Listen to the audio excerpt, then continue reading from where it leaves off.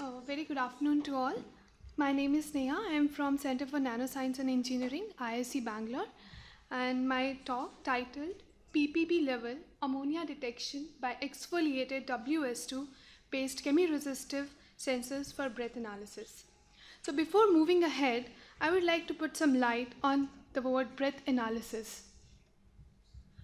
So as we all know, there are many uh, diagnostics process uh, available today.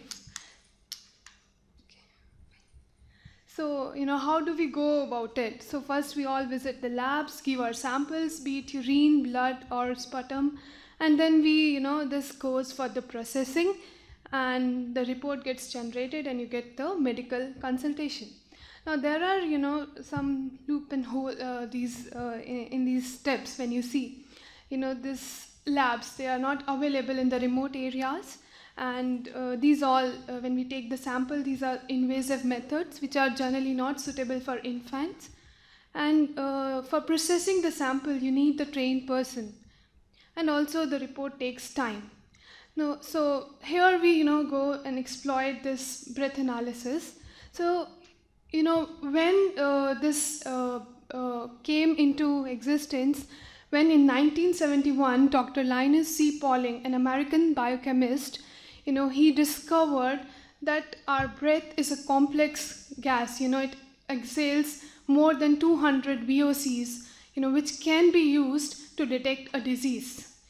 So, say ammonia, acetone, isoprene, to name a few. Now, you know, our breath uh, has like a signature saying that a healthy person and a diseased person, they both have varying concentration of these gases. So you can easily predict like, okay, this person is healthy or diseased. So you know, why can't we exploit it and make a handheld device which you know just blow in blow into a tube and get the reading out there and just okay, you're done. That's all. Skipping all the steps. Now let's come to the origin of ammonia. Why ammonia? So it's a disease triangle you can see here. It's associated with three different diseases like gastric diseases, liver diseases, and renal problems. Now, how does it happen? Now, when uh, you know uh, you go for exercises, your muscles generate ammonium ions, and it gets converted to ammonia. And then, you know, uh, for example, your gut. You know, there is if there is some bacterial overgrowth. For example, this Helicobacter pylori infection, you know, which is commonly known for this ammonia release. Now, when uh, these are released, ammonium ions are released into your bloodstream, it goes to your liver because ammonia is toxic for your body. It gets converted to urea through the urea cycle, and then you know uh, uh, it gets filtered out through the kidneys. So uh, your kidneys filtered out urine, uh, and also let's say if your kidneys are not functioning properly, and if your liver is not functioning properly, so this is difficult. You know this process or this metabolism may, may not happen properly, there may be malfunctioning, and in that case, you may have elevated levels of ammonia in your breath. Now, let me come to the outline of my talk. So, I'll be uh, talking about, uh, as I've in my title, I've shown this WS2, tungsten sulfide. So, how I you know synthesized this, and then I've uh, char characterization of these nanosheets, and you know sensing of these nanosheets towards ammonia, followed by conclusion and summary. So let's come to the liquid exfoliation of WS2 nanosheets.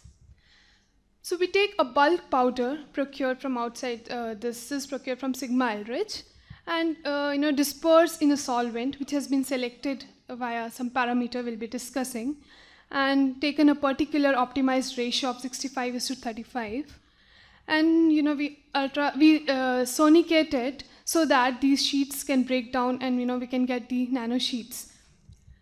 And then we uh, centrifuge them so that the heavier sheets or heavier particles settle down and we get the lighter and thinner sheets on the, uh, on the top and we collect that supernatant, which is our sample.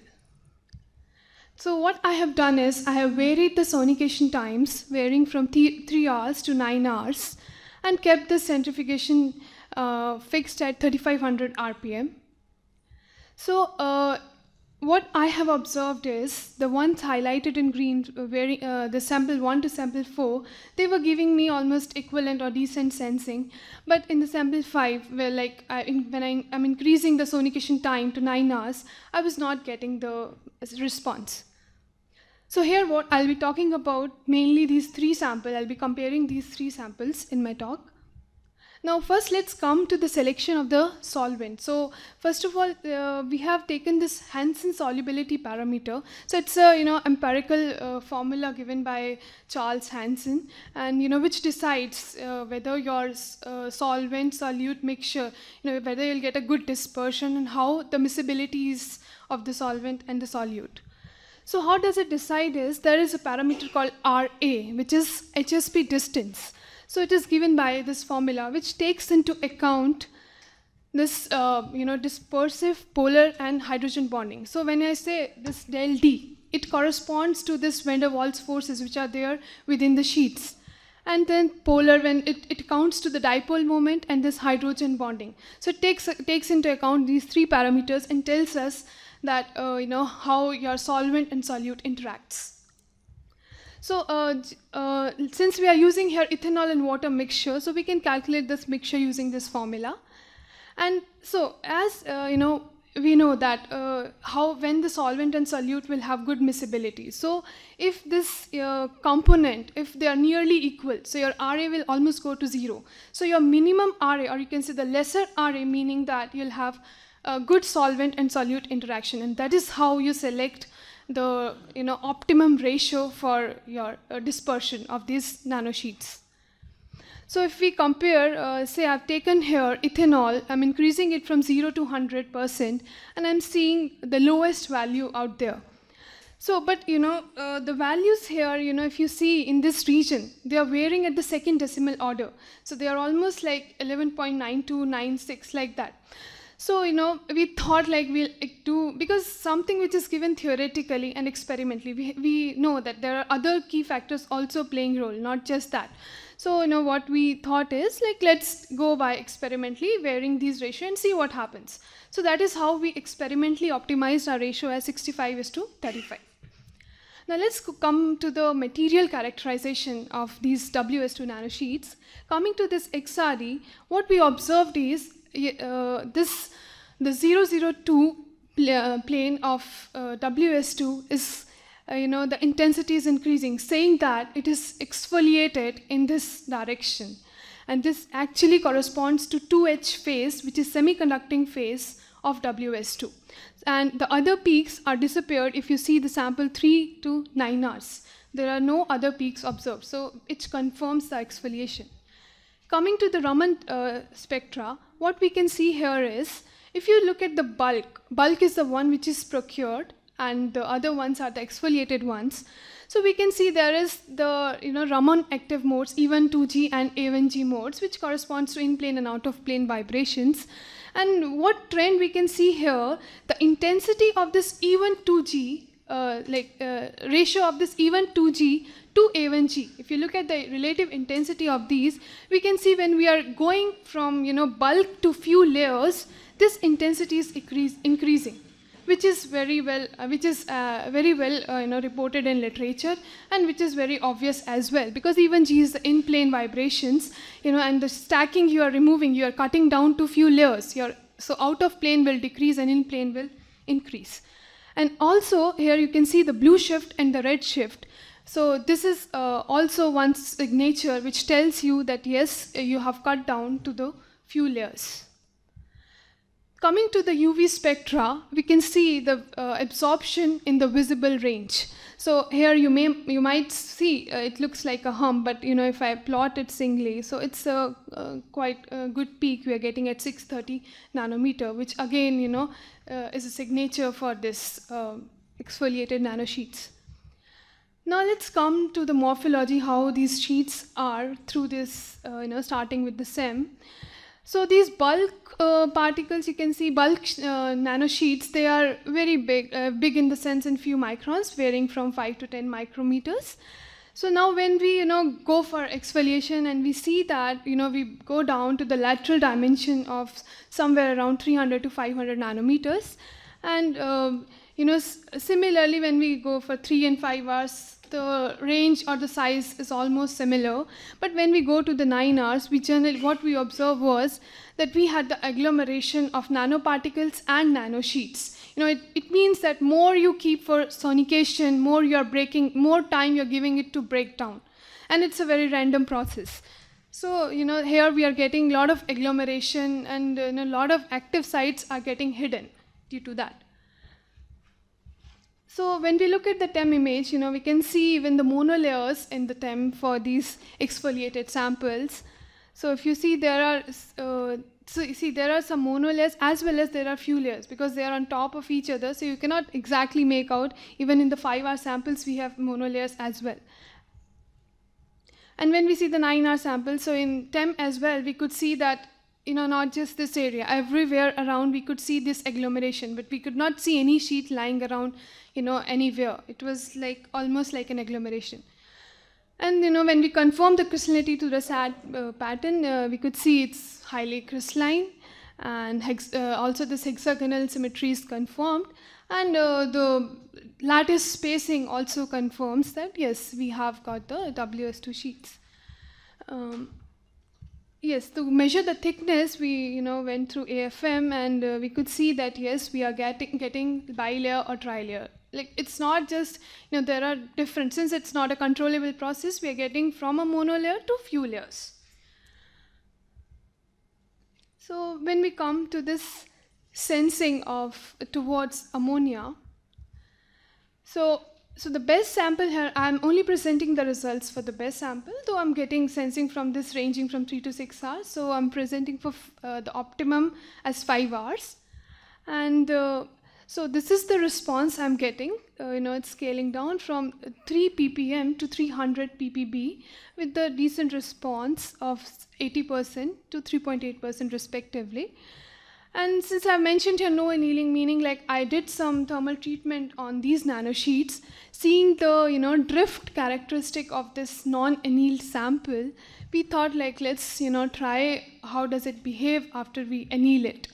So after annealing, what we observed was uh, first thing you see the response has drastically improved, increased and because uh, the response has improved you know we could really push down lower to 50 ppb from 300 ppb and the response was also decent of about, about 4.3% so and when we fit it definitely non-annealed sample gives you a linear fit but uh, and this gives you a poly polynomial fit but you know at the end, uh, if you see the response and uh, the lower limit, it's really improved, though it's not linear. But you know, if you do it in the lower concentration range, it, it will show a linear response. Uh, when we come to the repeatability, we did it at uh, 1 ppm, and uh, it was quite repeatable as well. And uh, coming to the specificity, uh, we could see here that uh, no, the gases chosen here have a significance since we are targeting breath analysis. Uh, the gases which I have chosen are related to that. Say H2S, it's called, you know, it's uh, exhaled during bad breath, halitosis. Acetone, it is released during diabetes. So these uh, gases have been chosen, and even the concentrations per se. Uh, know, let's say this uh, 0.5 ppm for NO, 1.8 ppm for acetone. So these are uh, the concentrations. You know, during the disease stage, we could find these concentrations coming out uh, through our breath. So this is, that is how we have chosen the gases as well as their concentrations. So now let's come to the mechanism. So the device, uh, we have taken our standard interdigitated electrodes. Uh, the gap of our fingers were 5 micron. And uh, this is the same image of my device. So, it, so my material is drop casted on this IDs. And the, so we know the nanostructure of these devices is hexagonal, and this is actually our receptor where the uh, charge transfer process will take place. So we know that in 2D materials how it happens. It's a standard process. Since ammonia is a reducing gas, it's an electron donor. So it you know gives uh, electron to the conduction band of WS2 and increase in, sorry and increases the conductivity and the carrier concentration and that is how we see the sensing response. We could see on the purging of the gas my current was increasing. Okay, so you know to compare why you know this is uh, this we know like this is the mechanism how sensing works. So we thought why it is happening that you know annealed and non-annealed there's a huge difference though it's still under exploration but we have few results here. Like if we see the XRD uh, we could see that we had a very weak peak if you have observed in my previous plot of WO3020. But when we anneal it at 400 we could see that uh, this peak has enhanced but still ws2 dominates. So you know uh, and also i would like to point like if you uh, we did other measurements also here let's say raman but we did not find any signature of wo3 in raman.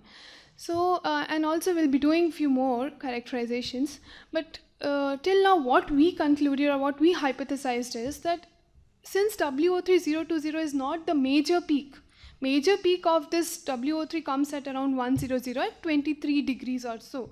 So, uh, you know, it looks like that this may not be WO3, it may be some WO3 minus X, or there may be, due to annealing, there may be some formation of complex of WSO. So, you know, that's, uh, uh, this just our hypothesis. Uh, that is how we are finding that maybe it has improved. And the second thing is, as we know, like, you know, this annealing of the sample, it also uh, removes, because we are using the solvent, ethanol, so they have stains, right, when you drop cast. So they may also, you know, remove these stains and they may, you know, expose the active sites, which were before blocked due to these stains, maybe. And uh, also, you know, there are some surface adsorbed oxygens on your um, sheets, nano sheets, which uh, further blocks your active sites of sensing. So, you know, so annealing might help in that way also. So the sensor specifications to, uh, to summarize, so it, you know, the operating range is from 50 ppb to 3 ppm. So we, we can really scale down to 50 ppb and the response and recovery time is decent, 125 seconds and 59 seconds. And the operating temperature is 250 degrees. To benchmark uh, um, to, to benchmark the sensor, you know, we just uh, looked at all the 2D sensors being explore, explored in literature, and we could see that uh, there are very, uh, like, uh, there's no report on 50 ppb, but there are few which are on like uh, near around 100 uh, or 300 ppb, and also we are getting quite good response when compared to literature. Yeah, so to conclude, so, you know, what we have done is, so we have chosen the solvent for exfoliation on the basis of Hansen solubility parameter. And the solvent chosen also is a low boiling point uh, um, solvent. Uh, because you know if you have seen in literature most of the people have used high boiling point solvents like NMPs and yeah. So um, also since there is an interplay of other parameters like surface energy so uh, we have chosen the optimum value via experimental evidence. And uh, yeah, so these WS2 nanosheets, we have seen they have given very good response. It's highly sensitive as well as selective with the good response time and recovery time. And annealing has really improved the sensing performance and also, you know, pushed down the LOD to 50 ppb. As I've already spoken about it, how does it improve? and uh, yeah so it's really a good candidate for breath analysis so to summarize we took the starting material as the bulk powder characterized it confirmed the crystallinity the thickness of our sheets and got this uh, sensing response towards ammonia so this, yeah. thank you thank you